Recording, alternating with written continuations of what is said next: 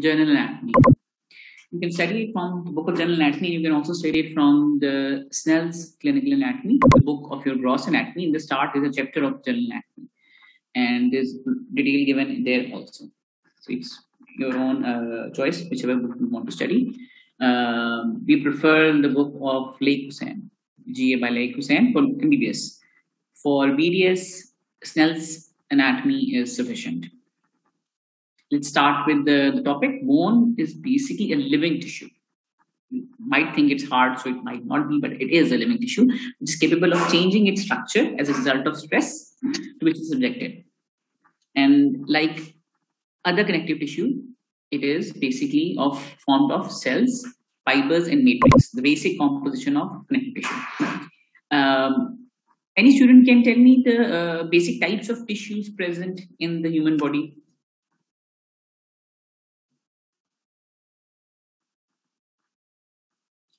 Any student? Connective tissue, uh, muscle tissue, epithelial tissue. Mm, very good. And nervous tissue. Very good. Now, as you can see, these are specific tissues, and whenever you look at an organ, you can see a blend of these tissues. Like in a muscle, there's, there's not only muscle cells, there's also connective tissue, which is uh, supporting the fibers and uh, giving them a proper shape. There is also uh, blood vessels, and there's also nervous tissue. You know, nerves they bring the uh, basically stimulus for the muscles to contract. So nervous tissue is also present there. Other tissues are also present there, but the basic functional component is the muscle fibers right? So if you look at any organ, you should be able to understand that what is the function of that organ, what is the functional component, and what is the supportive component. The supportive component will be like connective tissue supporting it, blood vessels, nerve cells, nerve fibers coming to that organ to uh, take sensory information or to give any motor uh, information if it needs to be given. If you understand this basic concept, it will be easier for you to understand the histology of most of the organs and be easier for you to understand the basic concept of human body. So I hope you got that. What I'm trying to tell you is, and also if you understand this, you will be able to understand embryology very well. Because in embryology, the basic structure being formed is the functional component.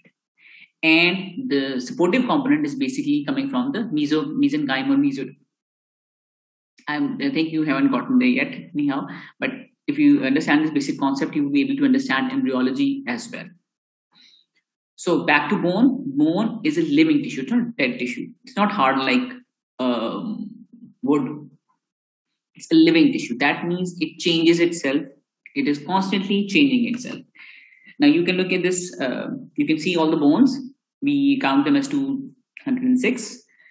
And uh, basically, its functions are because it's hard because of calcification so it uh, gives protective uh, function it protects main organs like brain and blue column apart from that it also serves as lever which make movement easy. And it also has bone marrow inside which is forming the blood. Right? So if you look at the picture one other thing that you see is that the important organs like brain heart and the lungs. These are basically protected from the outside like an exoskeleton. But the rest of the limbs they have the bones on the inside and the soft tissues on the outside because these are basically appendices. These are only meant for movement. Any uh, human being can survive without the limbs. These are basically appendicular. This is the main portion which you need these are only meant for movement to um, gain food and only for those matter. To live you need a heart sound heart you need lungs and you need a functional brain. So these organs have a skeleton on the outside to protect them. This is where the lever comes in. These are like levers. They help in movement. Okay? And third is the bone marrow. Of course where's the bone marrow you can see it here and when you study the different types of bone here you can better appreciate bone marrow also. The bone basically exists in two forms. The compact bone, which is also called cortical. Anybody can tell me what cortex means? Any student?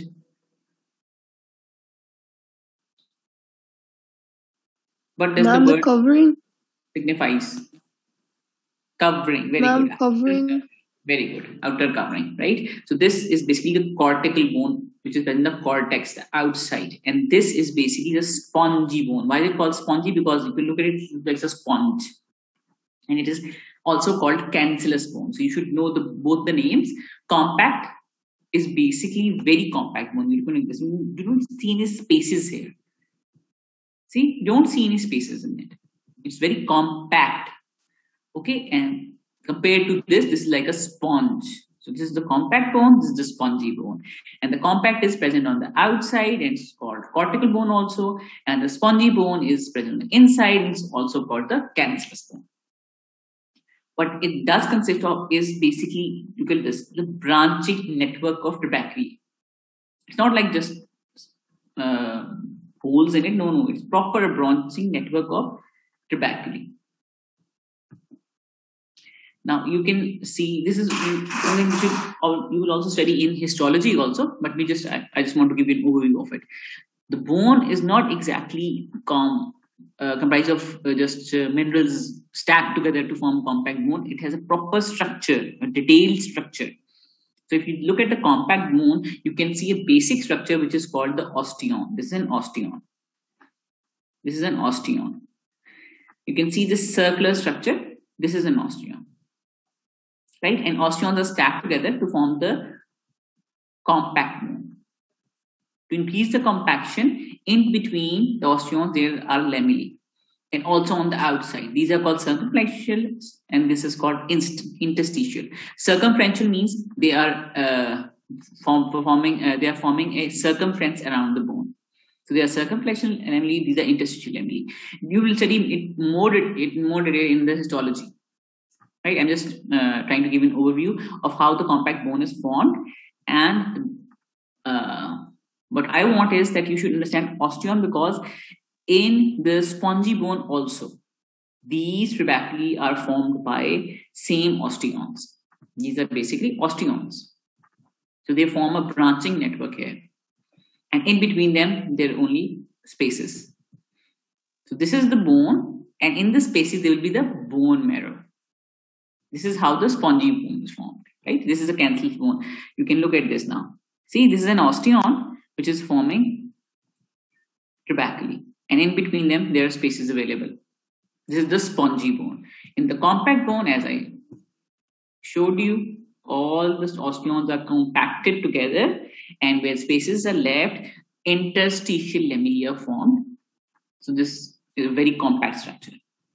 This is the difference between the compact and the cancellous bone. The trabeculae in the cancellous bone are basically arranged in a manner to resist the stresses and strains. If you put the load here, the trabeculae will form like this. See, it will try to support the structure.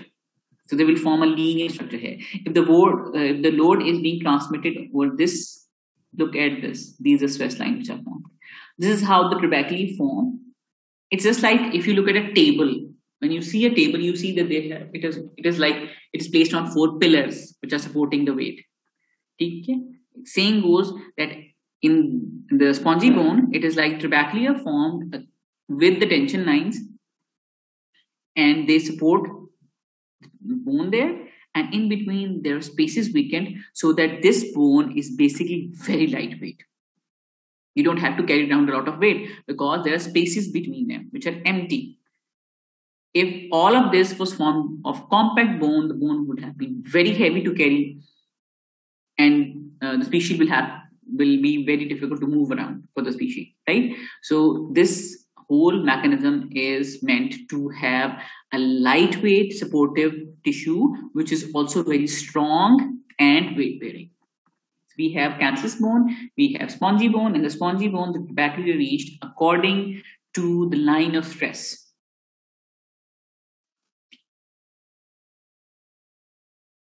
The next thing is, of course, that between the trabeculae, there are spaces. Now, these are empty spaces. These empty spaces are occupied by the in the cavity by the bone marrow. Bone marrow is basically what bone forming tissue, and mostly it is present in the long bones and the short bones. Now look at this. It is a fresh specimen and it is pretty clear to you what I'm trying to tell you. Now look at this. This is the cortical bone. It is all very thick, right? Below that, you see spongy bone. And in between the trabeculae, what do you see? You see bone marrow. Now the bone marrow can be divided into two types. If it is reddish in color, this is a fresh specimen. So if it is reddish in color, it is red bone marrow. And if it is yellowish in color, then it's called yellow bone marrow right? Now, I think it is pretty obvious that the red bone marrow will consist of hematopoietic tissue. It is forming blood. That's why it is reddish in appearance. Whereas the yellow bone marrow, if you look at it, looks like fat. So basically, it's fat. These are this is fat stored in the bone, which is now yellow bone marrow.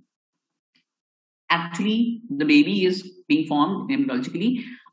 The blood is being formed in the liver, but as the bones form at birth and uh, after that, initially the blood is being formed in the bones in this red bone marrow.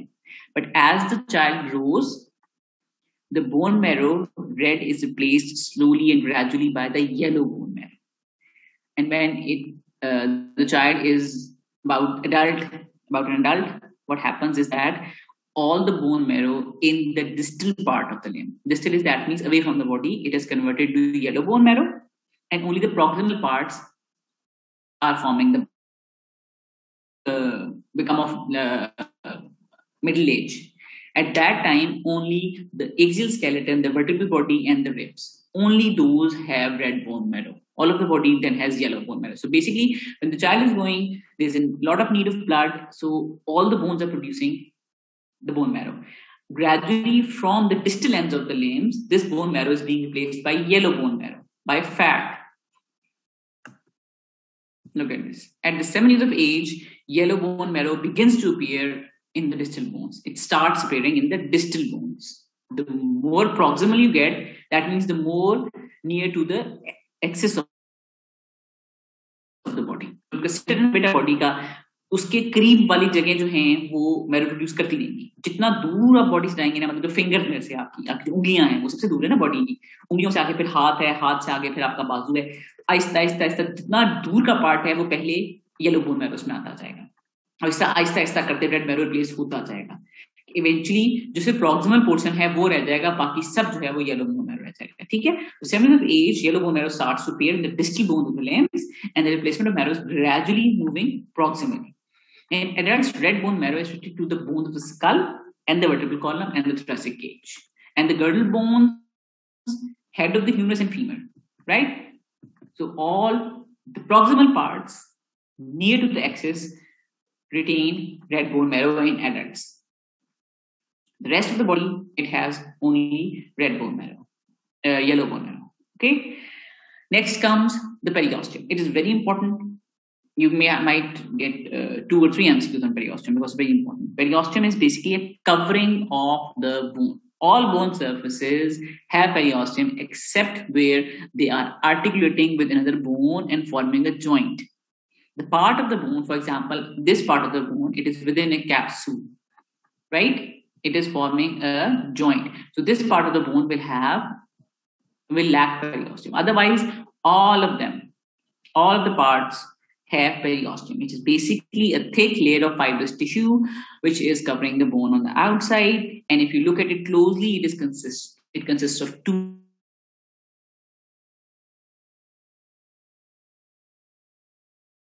outside.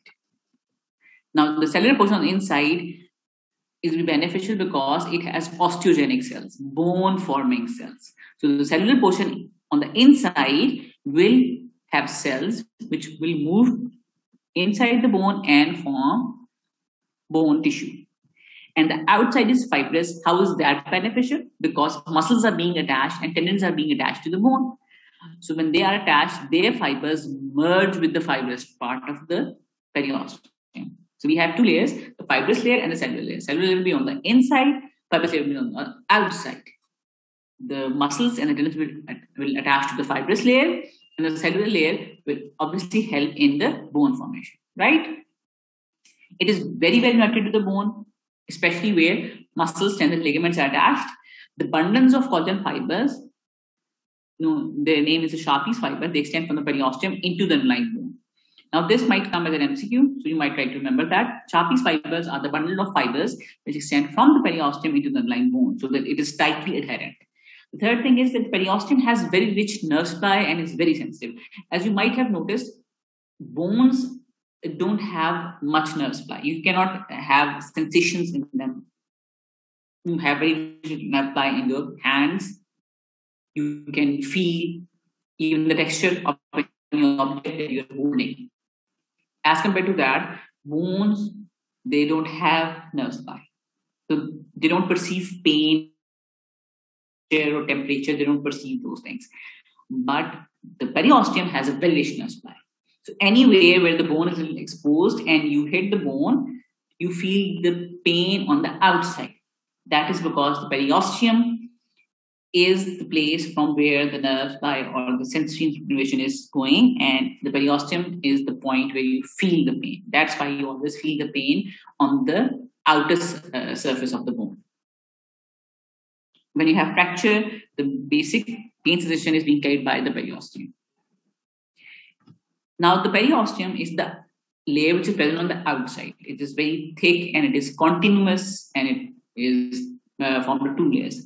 But when you look on the inside of the bone, there is also a covering on the inside, but it is not very thick. It is a very thin layer of flat cells which just you see this this which just encircle the inside of the bone, right? This is in circle, the inside of the bone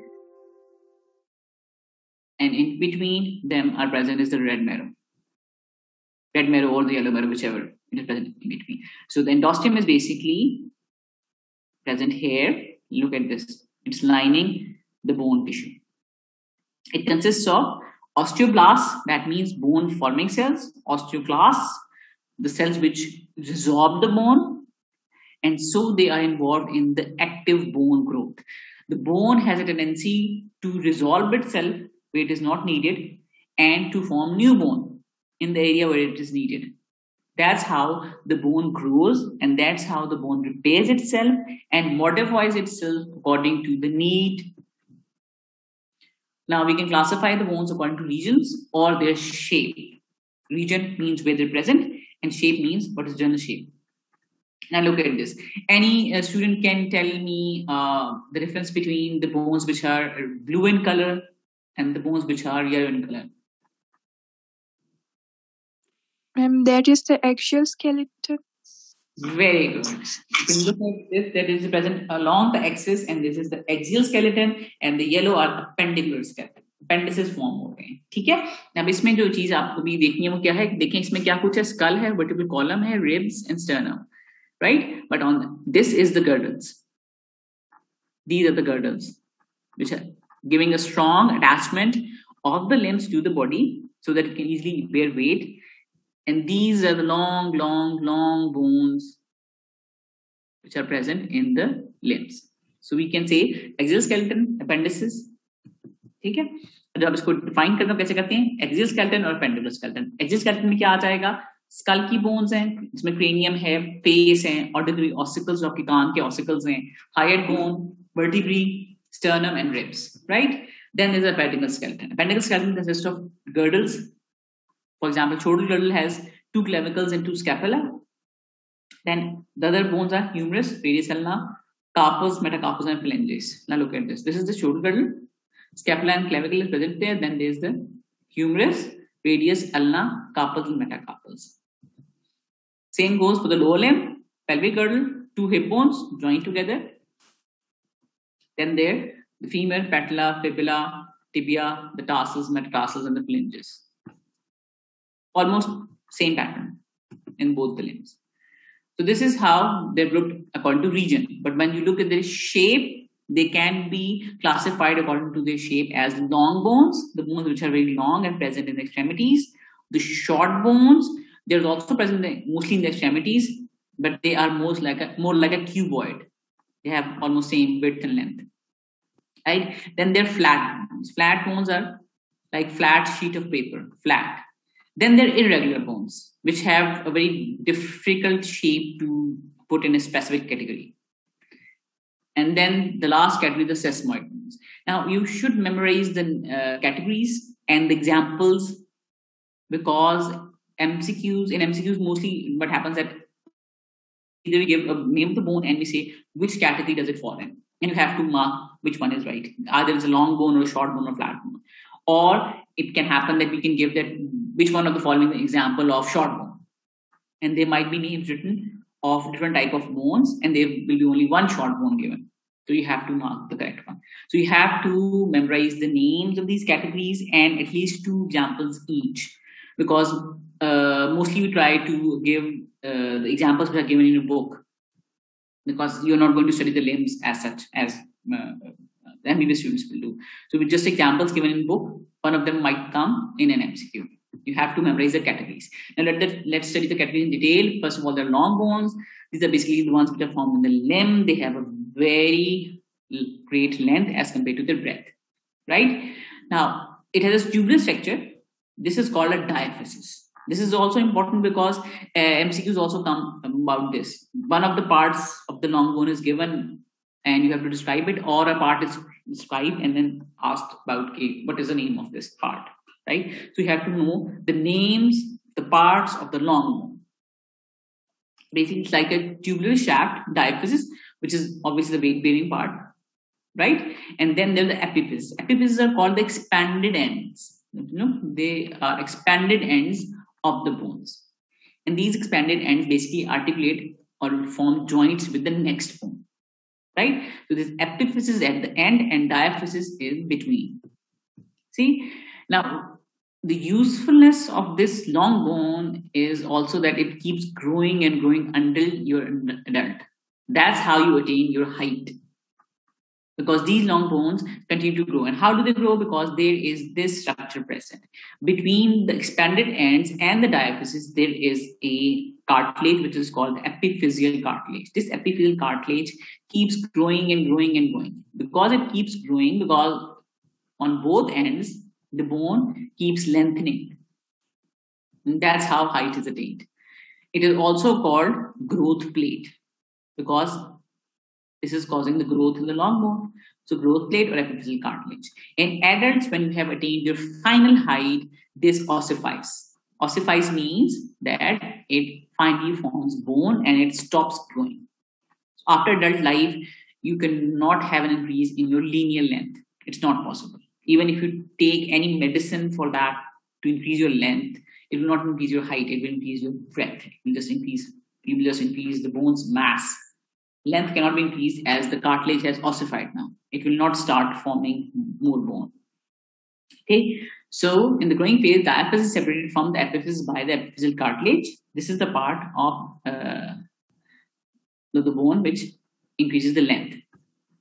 The part where the bone is growing and new bone is forming, this part just below the epiphyseal cartilage is called metaphysis. Metaphysis is the part where the new bone is being formed. This is the metaphysis. Right? So again, diaphysis. Now what the diaphysis has. So you can look at it. It has an outer part of compact bone and in between there is a marrow cavity. The outer part is composed of compact bone and inside there is a hollow marrow cavity and this helps in minimizing the weight of the bone. On the outside is covered by the periosteum. So this is the diaphysis or the shaft of the bone. The next is the epiphysis. In the epiphysis, you can see that it has in cancellous bone with a very thin layer of compact bone. This is the articulated part, and that's why it is covered by hyaline cartilage. The rest is covered by periosteum. Now the short bones. Short bones, as I told you, they have the same length, breadth, and width. Now, uh, mostly of them, most of them are present in the hands and the foot. So bones of the hand and foot, especially this region, the palm region. You can see these are called, these are called the carpals. They are like cubes. Scaphoid, lunate, talus, and calcaneum. Right? Look at this. Roughly cuboidal shaped, cancellous bone on the inside and compact bone on the outside, just the same as the long bones. Covered by periosteum except on the articular surfaces, which is covered by the cartilage. You have to uh, memorize a few names in this because they might come in MCQs. The next is, uh, category is the flat bones. I told you that flat bones are like sheets. So, since you have studied skull, I would like to ask any student about an example of flat bones, apart from the one written here. Any student? Zygomatic. Zygomatic is a flat bone. No. Ma'am, squamous part of the occipital bone. Parietal, ma'am. Parietal bone. Non-parietal bone, temporal bone. Temporal bone. Temporal bone. Not all the temporal bone. This is squamous part of it. Front, Same frontal ossibone. bone. Squamous part is basically named according to the shape. This flat and it's broad, right? Thank you very much. So the flat bones you can easily see because you have studied skull. It's easy for you to understand that they are just like flat sheets. And if you look on the inside, they have two layers of compact bone on both sides and between there's a spongy bone. In skull, it's called diploe. It's a name given to especially to the s- cancellous part of the skull bones. So we have compact bones on outside and spongy bone on inside. As example, we have is the scapula. This is present on the back, and this is the arrangement of the flat bone. You can see compact bone, compact bone, and spongy bone on the inside. Next becomes the regular bone. Now, any student can tell me uh, which bone is this bone. You can see the picture. Um, sphenoid. Sphenoid. Sphenoid. Very good. This is the sphenoid. You can see it is body, it's greater wing, lesser wing, it's pterygoid plates. You can really appreciate easily. Now you can just look at it and you can understand why it's called an irregular bone because it's irregular. You're not put it in a category, right? So same goes for the vertebra. Vertebra is also irregular, and then the pelvic bones they're also irregular. See, irregular bone. You cannot put it in, describe it in any, shapes. They're composed of thin shell of compact bone and T is made of cancellous bone, same as the rest of them. Okay. Sesamoid bones. Sesamoid bones are basically uh, bones which are formed where a tendon rubs against any surface. I hope you understand what I'm saying. When a tendon of a muscle is rubbing against a surface, it will cause friction. And if you move, you will damage the bone also. And because of friction, um, as I perceive that you have studied physics recently and you should understand friction, because of friction, it will create uh, damage and uh, heat and a lot of things. So, to minimize this and to increase the mobility and make the mobility more smooth, what happens that where a tendon is being rubbed against a bony surface or a joint, a sesamoid bone is formed inside the tendon. So, when a bone is formed, this bone will move easily on the bony surface, just like your joints. Do you feel your joints when you move your hands? Just clench your hands and feel. Just move your hands, move your fingers, and feel that you don't feel the joints. That is because two bones are covered by articular uh, cartilage, and they move easily on each other. They just slip on each other, so you can easily you can easily move them. Right? Same goes here. That uh, to uh, reduce the tendon friction, what happens that another bone is formed inside the tendon, and this then moves over the bony surface, and it is covered by cartilage, so it easily moves. Now, what happens is in human body, some tendons are very large, and they have this uh, problem uh, of friction. So, in humans, permanent bones are formed in those tendons. When a child is born, it is it is born with those sesamoid bones right? The largest one and the best example is patella you can see here and you can feel it. If you put your hand on your knee you can feel a small uh, bone covering your knee joint. The knee joint is behind this bone right? So when the tendon of quadriceps femoris moves on this joint it will cause friction. Because of that patella is formed and the undersurface of the patella is covered by cartilage and that's why it smoothly moves over the knee joint. When you're walking, you don't feel this. Patella is now a permanent sesamoid bone that is present. But this mechanism is present in other tendons also, which are rubbing against joints or bones. So sesamoid bones are basically small bones formed in tendons where they rub against a surface And gradually, as you grow, many sesamoid bones are formed in small uh, tendons also. But this one is a permanent and the largest, which is called the patella, which is present in the knee joint. Is the best example, and most probably, if an MCQ comes, patella will be written there. See, sesamoid is buried in the tendon, P surface covered with cartilage. The function is to reduce friction on the tendon, and it also can alter the direction of the pull of the tendon. So this is again an overview of the bones, long bones, flat bones, irregular bones, and short bones. These are the permanent bones and permanent categories. One or two books just mention these four categories, but majority of the bones books also mention sesamoid right? Long bones, very long, short bones like cubes, then flat bones, and then irregular, which cannot be put in any, any category.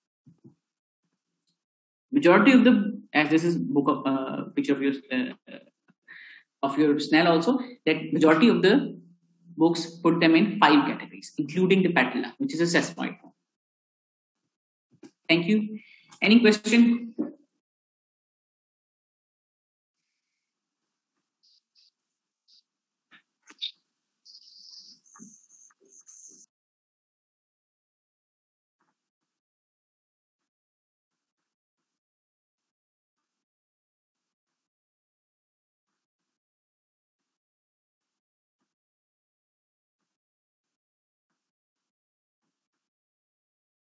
Okay, Thank you very much. Thank you. Okay, sir. Love is